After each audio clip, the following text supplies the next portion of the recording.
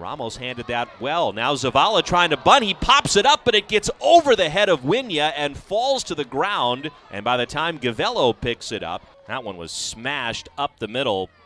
Runners go, pitches low and in. Morgan's going to throw to second, and it's too late. It's from the left side. There go the runners. Pitch is a strike, and no throw even attempted by Morgan. Another double steal.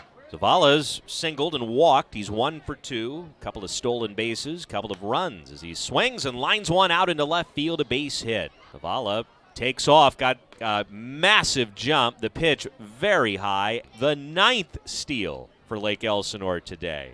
One out, bases empty, top of the ninth inning. The 1 1 pitch, a swing and a shot off of Cummings' leg, kicks to the third base side of the mound. He picks it up and will just hold on.